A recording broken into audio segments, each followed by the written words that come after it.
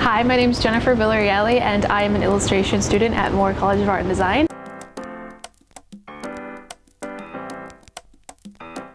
What I'm working on is watercolors and this is one of my illustrations for the senior show because I am a senior and I'm gonna have about five pieces in the senior show and they are all fairy tale illustrations. This one is Finist the Falcon. It's an old Russian folk tale and it's a story about this girl who falls in love with a falcon who turns into her Prince Charming and he's flying through her window.